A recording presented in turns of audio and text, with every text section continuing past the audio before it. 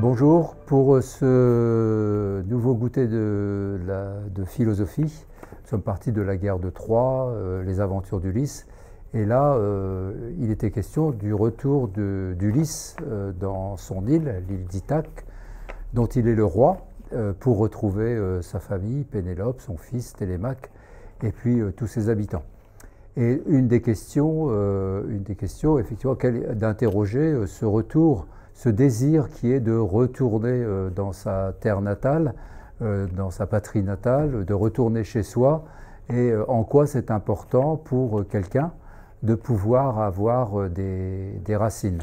On l'a illustré avec deux chansons, une chanson de, Ridan ou Ridan, je ne sais pas comment on dit, sur Heureux qui comme Ulysse a fait un long voyage, et cette chanson aussi reprise par Georges Brassens, et euh, une autre chanson qui était celle de Georges Brassens également, euh, euh, auprès, de, auprès de mon arbre hein, que je n'aurais jamais dû quitter. Donc retour chez soi, l'importance des racines, et de là en quoi ça peut être aussi constitutif d'une identité. Donc nous avons eu un, échange assez intéressant et long sur cette question de l'identité, comment la, la, définir. Et on avait un point de départ qui était intéressant puisque euh, Ulysse a été reconnu par la servante à cause de quel, euh, indice?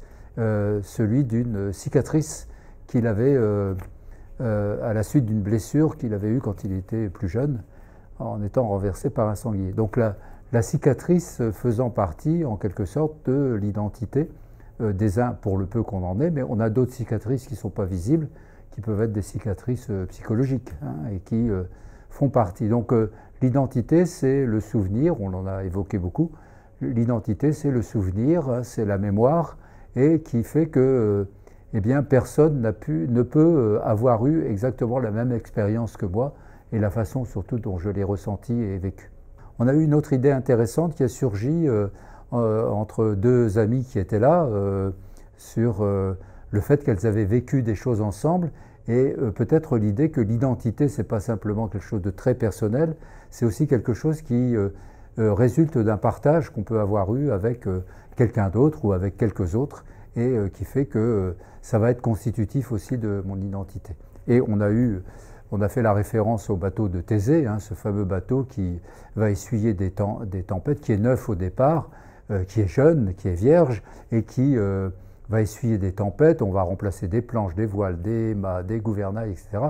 Et la question se pose, c'est est-ce que c'est encore le bateau de Thésée? Donc on fait le parallèle assez facilement. Est-ce que Ulysse, est-ce qu'il y a un Ulysse qui, lui, ne bouge pas? Et malgré toutes les expériences qu'il vit, les aventures qu'il vit, ou est-ce que c'est un autre, un autre Ulysse? Voilà. Et après, rapport avec soi-même, avec chacun, de euh, savoir euh, si nous avons un moi profond ou si au contraire ce moi il évolue en fonction des, situations. Et puis on a évoqué aussi, puisque Ulysse ne semble jamais avoir peur ni être en colère, on a évoqué la question des émotions et qu'est-ce qu'on faisait de nos émotions si on les cachait ou si au contraire on les, on les laissait exploser avec les conséquences quelquefois que ça peut avoir.